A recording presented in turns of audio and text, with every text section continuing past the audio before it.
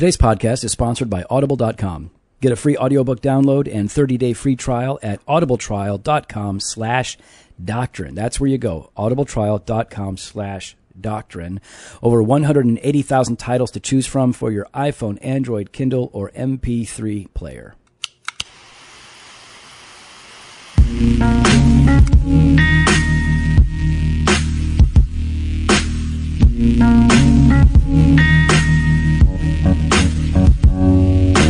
Welcome to Doctrine and Devotion, a podcast exploring Christian faith and practice from a Reformed Baptist perspective. My name is Joe Thorn. I am the cultural architect of Redeemer Fellowship in St. Charles, Illinois. Okay. And I, I don't even know how to respond to that. How do you, what do you- how do you follow up? Uh, I am Jimmy Fowler uh, Life Catalyst. and overlord of Redeemer Fellowship. I'm, a, I'm an elder candidate. You ever see that? You ever see that? Like, I remember there was this guy. Uh, Don't call people out. no, no, I I don't remember his name. Uh, but the church was Mosaic. He's written a bunch of books. And uh, and uh, no, I mean I'm not calling him out. Uh, he described himself not as like lead pastor, senior pastor, but as cultural architect. And What does that even mean? Like, well, he that in other words, he is the leader that is helping to develop or create a culture in this church Yeah. that and to put it in the best possible light, you know, that honors the Lord and is making disciples and all that stuff. Um, but uh, yeah, man, I ain't got time for those silly titles. Uh, pastor's fine and uh, elder's fine. Like we're, we're good with that. How you doing, man? How's your week? yeah, week's been good. You know, um, it's been schedule's been nice. Like, it, I'm kind of easing back into things.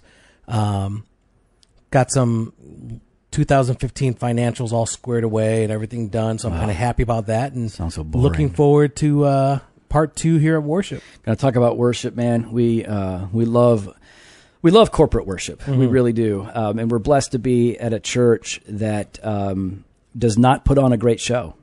We No. it, it now the, I think the music is great. The musicians are very talented. Exactly. Uh, in fact, they, a lot of them are performers. You know, that's they, they do this. They make money and they go out and they play. But they But are, they're not performing on no, Sunday. they're not putting on a show. Uh, they do very, very well, Mm-hmm. but they're all very consciously working to make much of Jesus and to not make themselves uh, a distraction for worship. So, man, uh, we're just we're blessed. You know, we've got people that sing. People sing in our church, man. Mm-hmm. That's right. You can hear the whole congregation sing loud, and we're plugged in. We've got drums, we've got bass, we've got two electric guitars, uh, sometimes two, sometimes an acoustic. We got bass, and you can hear the congregation and all of that loud. It's it's awesome, man. So on Monday we talked about what uh, worship is. We talked about corporate worship. We talked about why is it important and the principles that govern uh, redeemers worship, as as well as what is our liturgy. Yeah, yeah, that's uh, that that's fun, man. I.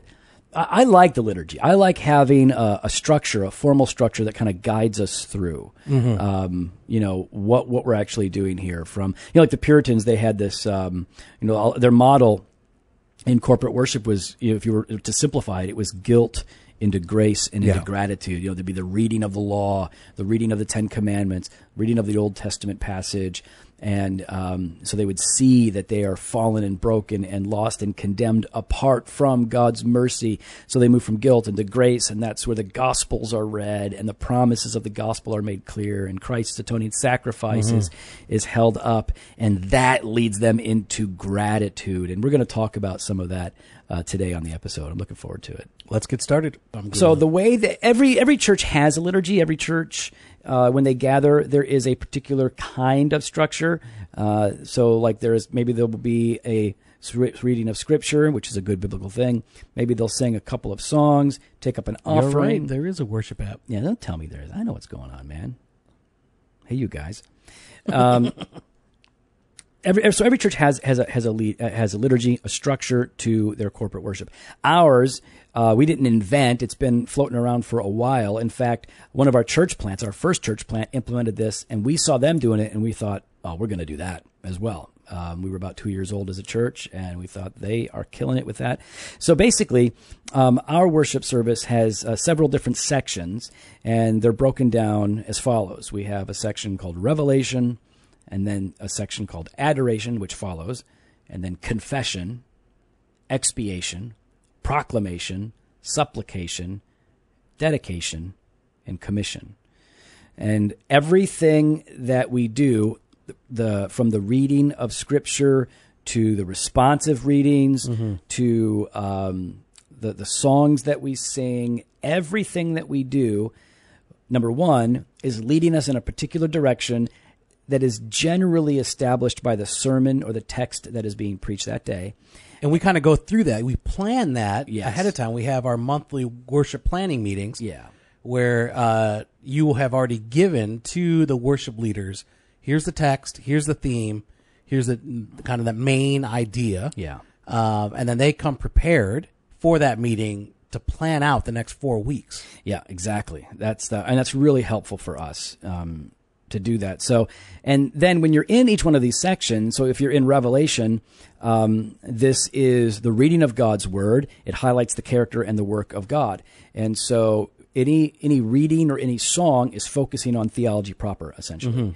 Uh, when it gets into adoration, uh, this is you know songs of praise, of joy. Um, of of rejoicing in in who God is, and and it involves scripture readings that uh, and may include corporate uh, readings or, or responsive readings as Which well. I love. I don't, I don't know what it is. I love responsive readings. Yeah, that's um, It's my favorite. I like it. My wife, she loved it. I mean, she grew up in Germany, going to a German church, and you know, that was really big there. And she loved every aspect of it. The benediction, um, Yeah, you know, it. that the pastor would would say over the people, and you know, the back and forth. And I feel like there's some. Ah, okay, now I'm going on. I just feel like there's something about the corporate body reciting together uh, this truth. right. It can be a It's just powerful. it can be the Apostles' Creed. I get the can be- feels then. That's when I get the feels. it stirs your heart. Yeah. it stirs your heart, man. Everybody in unison, loudly Mm-hmm. declaring these truths. Uh, you know, proclaiming God's excellencies. That's right. Um, what are some of the things we use since we're talking about it? What are some of the things that we use in our responsive readings? So we obviously we use scripture. We use scripture, but we also use uh, the Valley of Vision. Yeah, we do. You know, uh, a great uh, set of Puritan prayers that's broken down, you know, into sections and topics, or Right. however you want to call it. They've also got like a week guide uh, at the end there, right? Like how you could you could pray these certain prayers for seven days, um, and they got it for like different situations and things like that. So.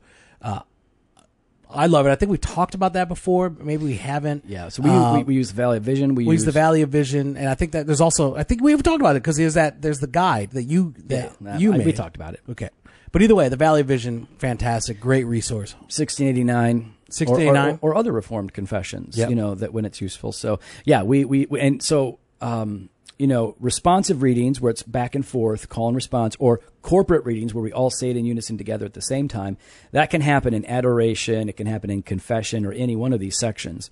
Now jimmy when we're talking about this section of confession we start with revelation we go to adoration and then we hit the section called confession. It says it right there on our bulletin confession. What are we doing there?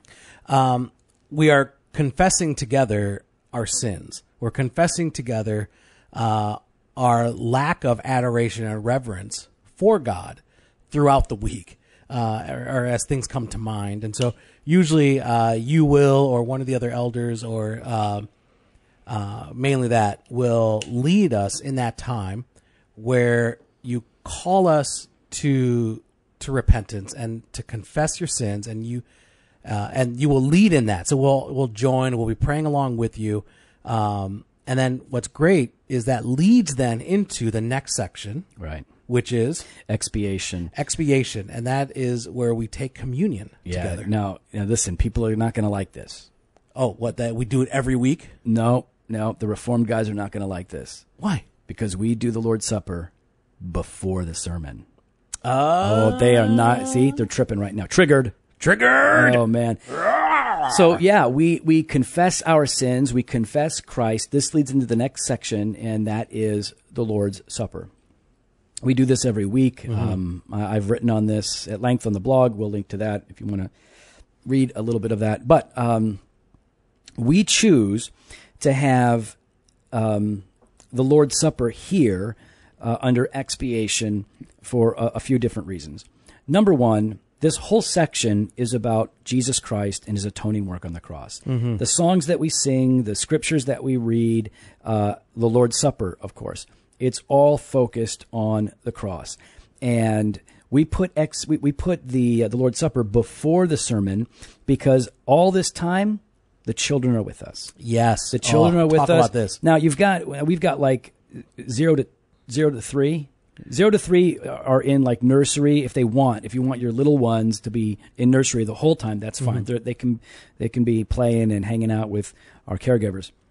But uh, four years old and up, everybody's in there for revelation, adoration, con- confession, and expiation. And we want kids to be present for the for communion, and we want them to see their parents worshiping. They we want them to learn that because when it comes to the sermon time, uh, they are then dismissed and they go to their classes that are age appropriate. It's targeted gospel theological teaching Yes. for them that they can comprehend.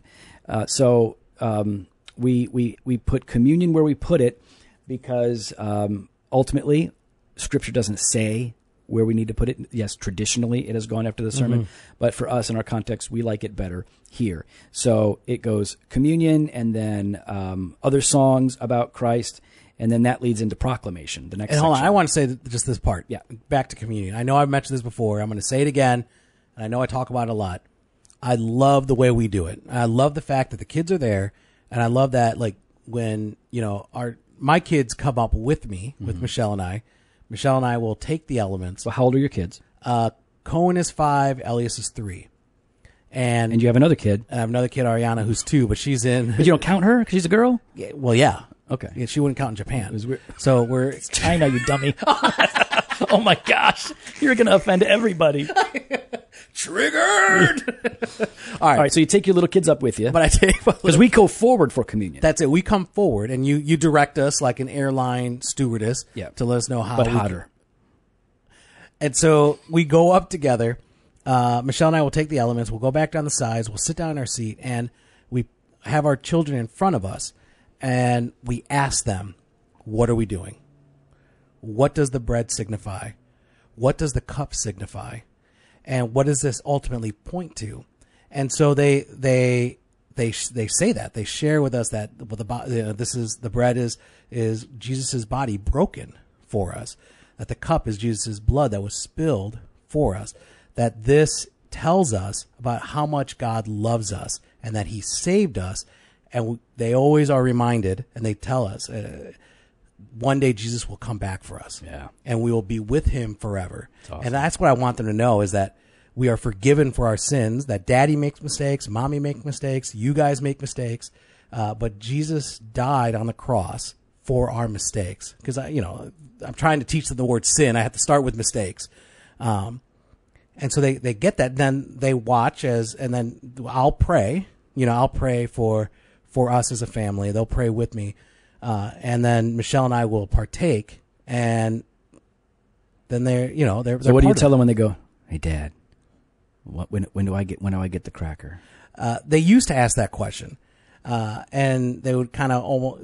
Cohen would kind of give a fuss. He almost cried a few times, like because in his, at first he's like, "Why don't I get the? Why, why can't I have juice? Like, why is everyone having juice but me? Yeah. It's snack time." And uh, now they they have a an understanding that this is for those that have uh, that God has worked in their hearts and has called them to Himself.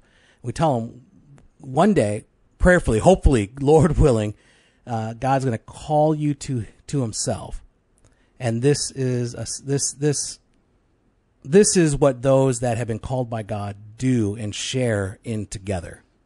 Yeah, we, we do because we have we have four kids and they all ask the same thing. Yeah. and we did we did something similar. Um, we we respond pretty much the way that you do in terms of bringing the kids together and having them explain it. And you know, Killian now he's our youngest. He's always the first one to say Jesus body, Jesus blood. And I'm like, all right, but what's happening here? And so when they would ask, though, when can I have communion? Why can't I have communion? We would say, uh, in simple in terms, like once you're baptized, That's a good way of putting it. then then you can have communion. And they're like, well, when can I get baptized? When you're ready to stand before the church and tell them that you're following Jesus for the Yeah. rest of your life. You know, when you've come to that place where, because like they're all going to say that they believe. Like, That's and right. I, and I, I'm not going to doubt that they believe That's until it's made evident that they don't. But yeah, that's how we put it for them. Is, is you know what? When uh, when you've been baptized, then you're ready. And uh, so, yeah, none of our kids have had communion until they're baptized. You know, so now, right now, two of them, two of the four have been baptized, and the other two have not. And yeah, I mean, I think that's in you know you waited until they were ready for that. And I know some places will will do it earlier. Some I, I grew up Roman Catholic. They would talk about that age of reason. You know, being at seven is when you're able to articulate the gospel. Somehow you turn seven, you're able to articulate and understand it, uh, and be judged accordingly.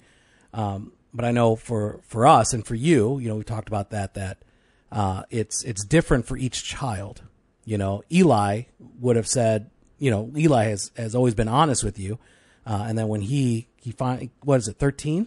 No, no, he's not even. He's not thirteen yet. How old is that kid? He's twelve. He, dude, he is so much more mature than you. Yeah, he is. No, Eli was always like, I don't know that I believe. Mm-hmm. I'm not sure that God is real. Um, you know, we didn't beat him up for that. Um, we just loved on him and said, well, you know, just keep, keep You share the gospel. You loved Yeah, your child. Keep reading your Bible and, you know, um, seek the Lord, be patient and all of that. And so, yeah, we basically will baptize children when the children are saying, Hey, um, I believe in Jesus and I need to get baptized. Yeah. So, um, generally, A though, profession of faith.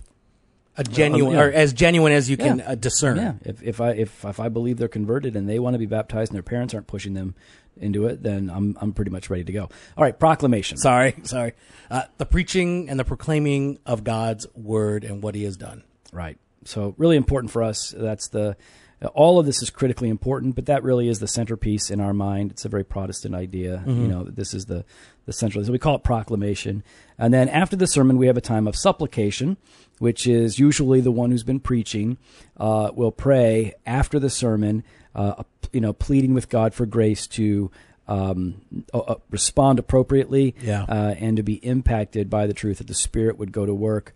And then we move into dedication right? And this is when we're singing songs uh, of commitment Yeah.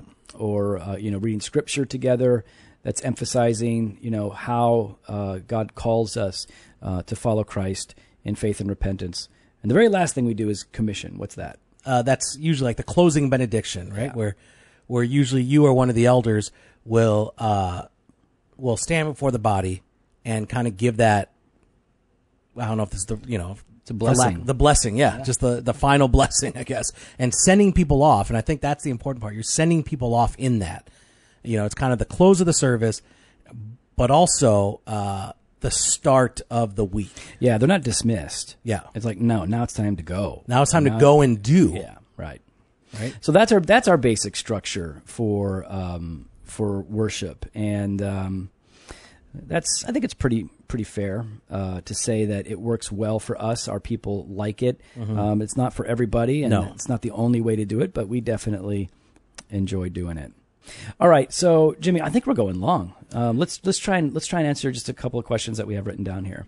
All right, let's do this. Um, let's I'll- go with. I'll ask do- you. I'll All right, ask you you. ask me. Here we go. So uh, one question is, is, how do you prepare for corporate worship? You know, your Sunday, it's a big day. Mm-hmm. Um, what do you do to get, to get to get yourself ready?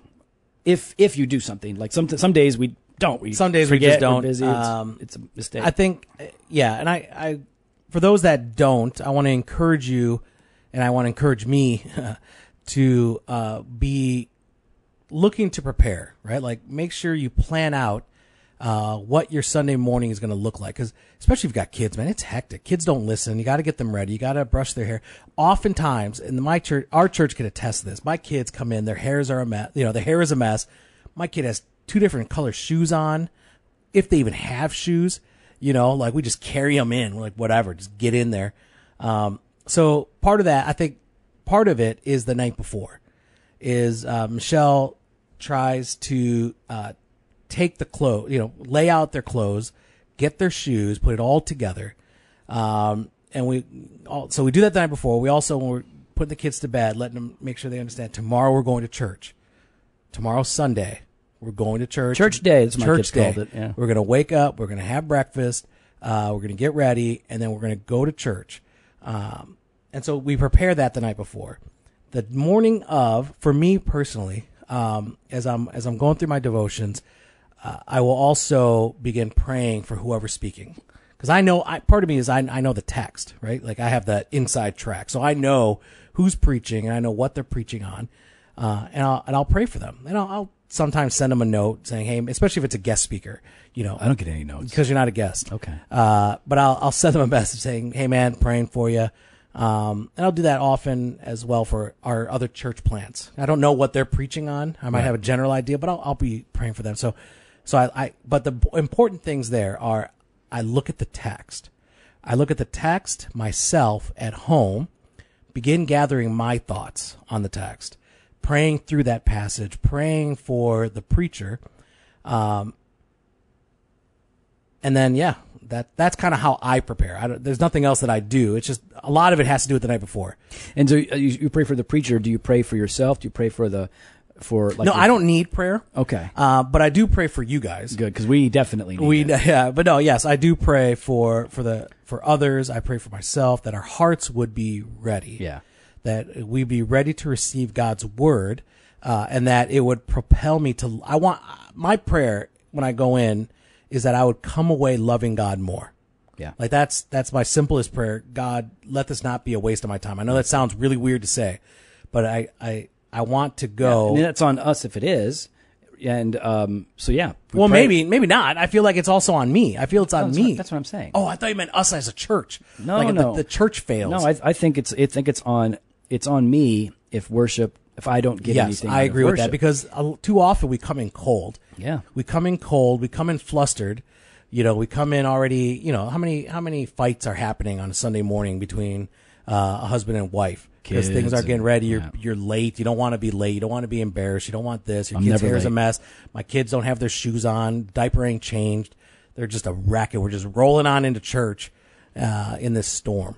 All right, man. So we've been doing this for a while now. We've been promoting uh, audible.com and how people can sign up with Audible, get a free audiobook. They don't pay for it at all. They can keep it even if they cancel their uh, their trial. And um, if they want to support us, they can check this out and it will actually help support the podcast. So for listeners of Doctrine and Devotion, Audible is offering this deal. Um, you sign up for their 30 day free trial to check out their service. You can see all the books that they got. You can check out the samples and you will get a free audiobook. They got a ton of good Christian theology, uh, as well as fiction and literature. Great books. You choose anyone you want. Doesn't matter how big it is. We've been promoting Calvin's Institute, which is, I don't know how big it is. You said Sixty-seven hours. 67 hours free. Boom, get it. You get that. Uh, even if you cancel the service the next day, uh, you keep that audiobook. But you might not want to. You might want to stay with audible.com, uh, audibletrial.com because, uh, man, listening to books is a, a great way to supplement uh, your reading when you don't have time to read or when you're driving. And if you just don't like reading, then this is a great way to go. So be sure and, and check out audibletrial.com slash doctrine. I like this that you you know you talked about how do you prepare for worship because I expected you to say, well, you know, I go over the text, you know, and I pray about it. And I just try to get my heart right. But I love that you were like, no, part of preparing for worship is setting out the shoes and the clothes the night before, And the socks. My kids got to have their socks. so that they're not, um, so that we're not stressed out and That's going right. bananas. And you know, like I, I'll be honest, we can't find Killian's shoes every day. Every day he puts them somewhere Yeah. else, and we're running around. So to do that on, on the people don't think it's a spiritual thing, but it, it, it is going to facilitate. That's it. uh, That's a the very part. The spiritual thing. facilitation of worship. Yeah, definitely. I- I What like do you guys do? Uh, yeah, we do the same thing. Really, I mean, we don't we don't get the shoes ready. That's for sure. Um, but we prepare the kids. They, they know what's going on, and uh, they call it church day. And um, and yeah, we, we we go over that. Like I go over the text, and uh, like Travell was preaching this Sunday. Mm-hmm. Yep. So I went out on the porch in the morning and had a cigar and uh, read his passage. Yeah, I Psalm saw your Instagram. 73. I shared it, and um, man, it was just uh, you know to get my heart ready because I need. I mean, I I need God's grace Mm-hmm. every day, and there is an abundance of grace. There is special grace uh, on the Lord's day when we when we gather. So mostly uh, prepare by Okay. uh, by prayer and and word. So then, how do you engage in worship? So on when we're in when you when we're there, um, it's because you, can go and not engage. You can go and disengage. You can go and, and fall asleep. I Just kind of sit there, I've there. preached to some snoozers before. Um, so Is that so discouraging? I always, Nah, I'm always like, yeah, I get it. I, I- mean, people are tired. I call them out afterwards. So that depends. Usually they're, you know, I've had someone fall asleep right in front and I knew I know the guy. Oh, I know the guy. Yeah, you know the guy. I know the guy. You don't have to tell me who the guy is. fell asleep. So he noticed that I noticed that he was asleep.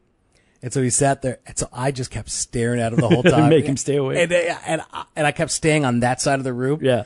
And I kept, I was trying not to laugh. Yeah. Cause I thought this is hilarious. Did Scott? I mean, did the guy laugh?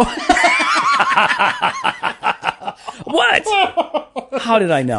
His name was not Scott. That's Oh, the best part. No. Oh, okay. No, no, no. It was not Scott. Okay, that's good. This person also held a sign that said boring once while I was preaching.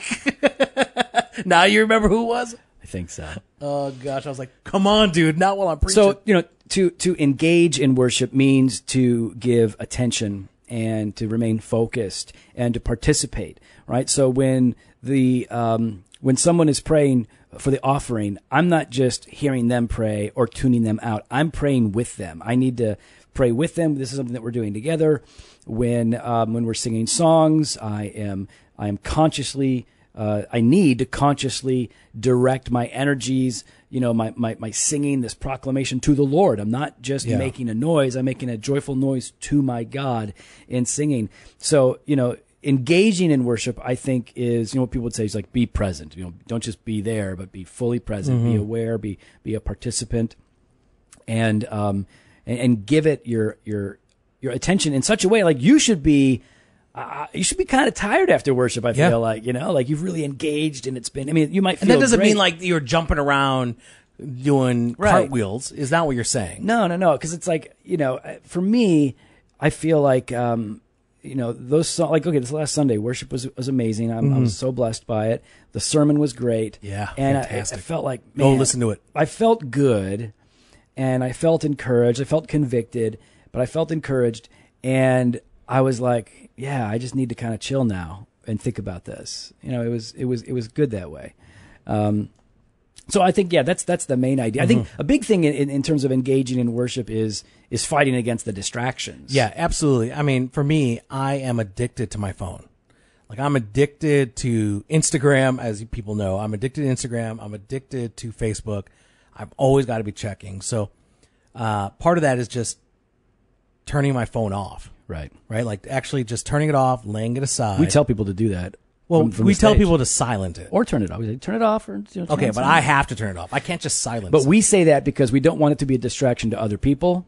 Oh, but it's what, distraction to What, you're saying is like, yeah, I can, I can silence it. but I'll still be. I am. I, I can get really distracted. I'm. You should give your wife your your uh, your phone when you get there. Oh, I can't. That's that's Why my baby. Yeah, well, listen, I'm just saying if you want to really focus, you know, strategies, man. strategies. All I know is I I turn it off or silence it, and I put it in the what is that thing seat pocket in front of you. Yeah.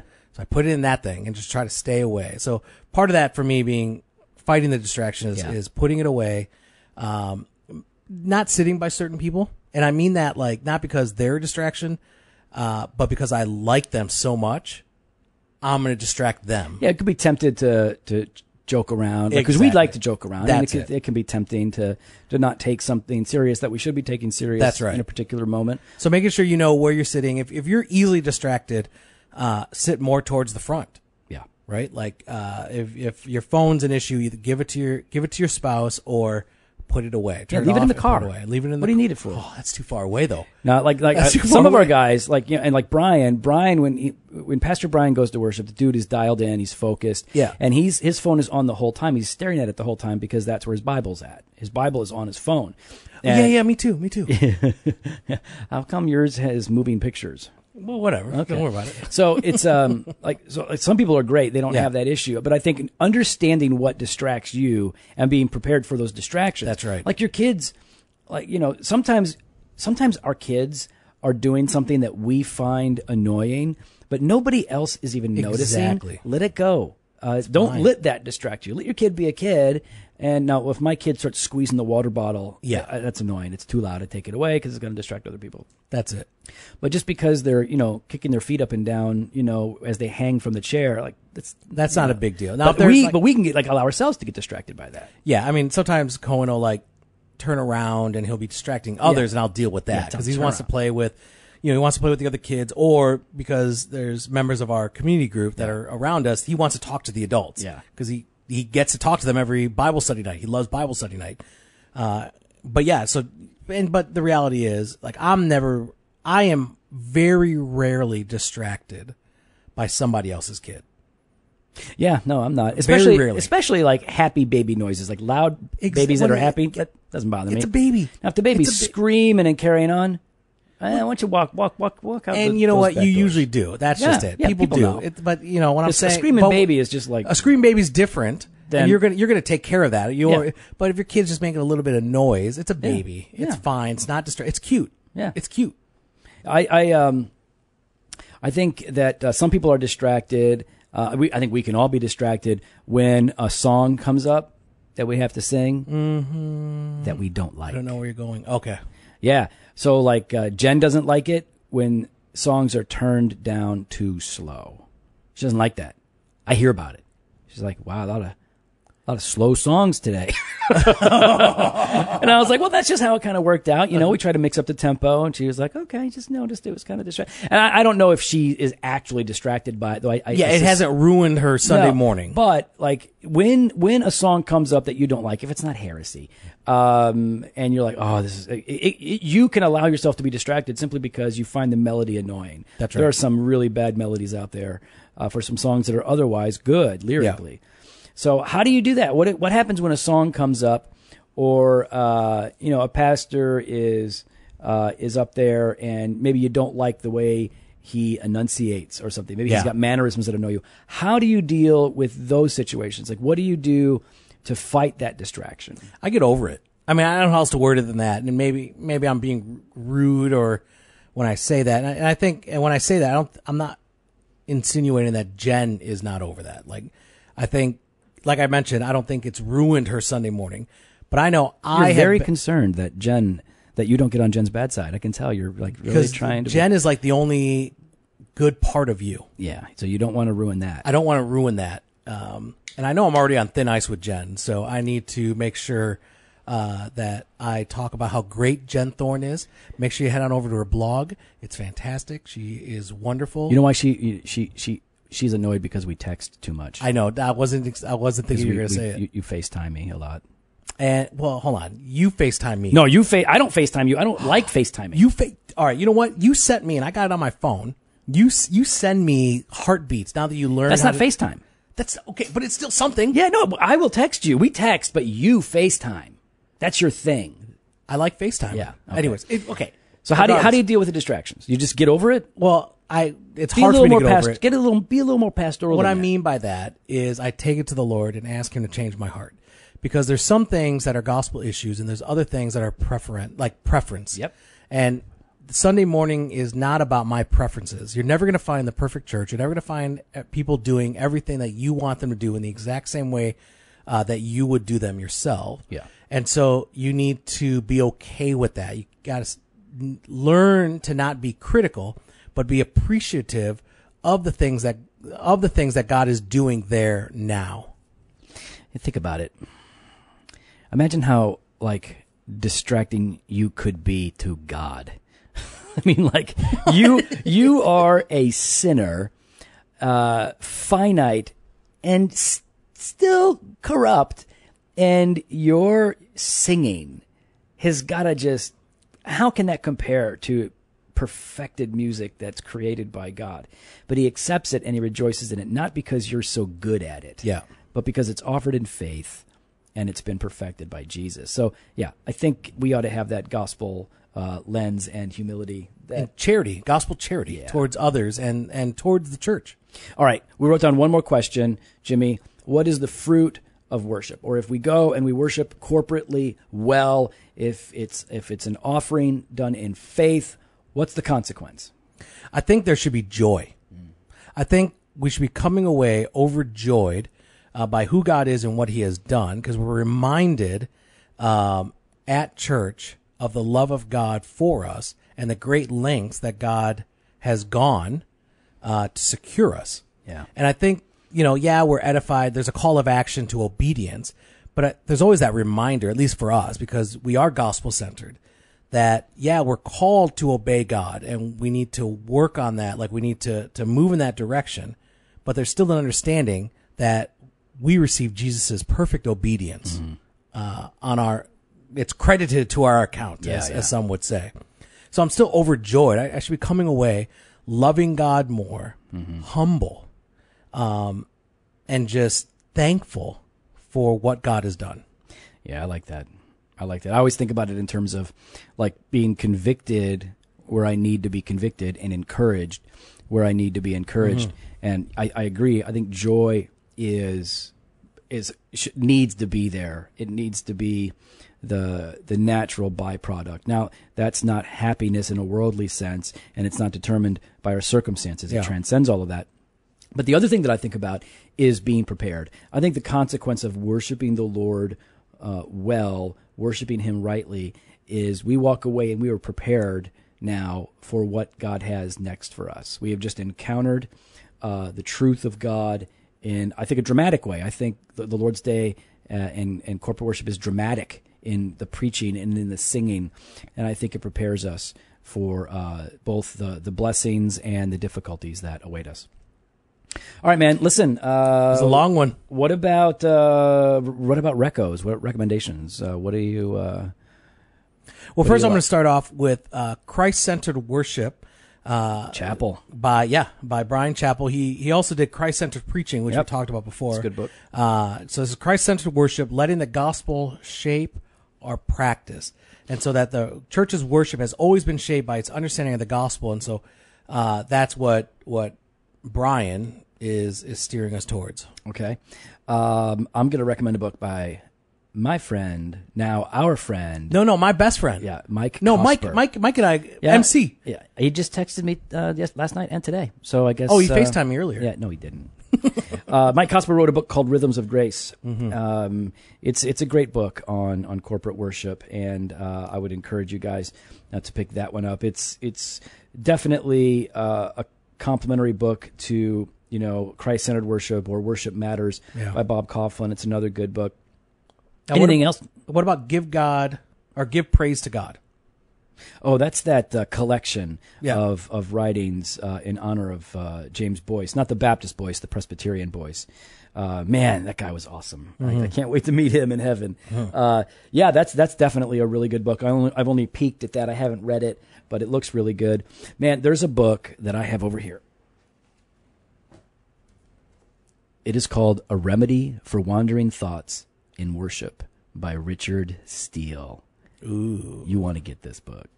Now this is this is uh it's you know, it's, it's an archaic book, you know, someone could say the language is a bit I don't think I've read that one. archaic. It's uh, you're going to want to get it. dude. All right, I'm gonna get it. It's really good.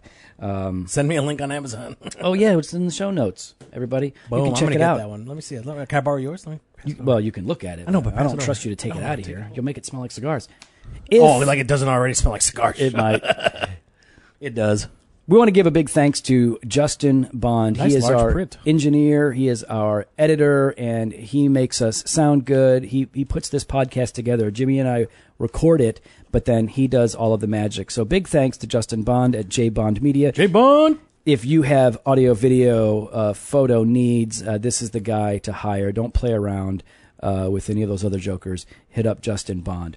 If you want to uh, help us out as a podcast, you can leave us reviews at iTunes or Stitcher or any of those places that you guys use to listen to the podcast. You can follow us on Twitter and Instagram at Dr. Doctrine Devo. You can uh, check us out on Facebook slash Doctrine and Devotion and like the page.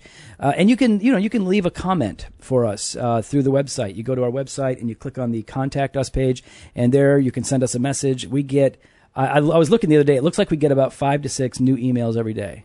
Yeah, That's we it. get a, we get a lot of messages. So it's like, wow. well, not just and that's just emails. That's- yeah, not- yeah, that's not including the Facebook messages, the Instagram messages, and the Twitter messages that Yeah. we get. Yeah, it's uh, it's it's pretty crazy. So uh, we we read them all, and we're trying to respond whenever a response is necessary. Mm-hmm. So we'd love to hear your ideas, your thoughts, uh, your critiques, and uh, please tell a friend. Bam, If- sharing is caring. Yeah, that's whatever. I don't know what that means, but When uh, you share it, that means you care about it.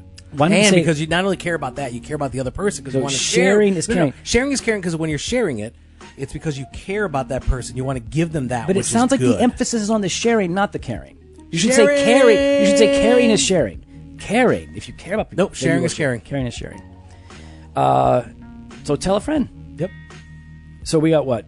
one coming out today, and then another one coming out a few days later. Mondays Yep, and Thursdays. every Monday and Thursday. Check it out.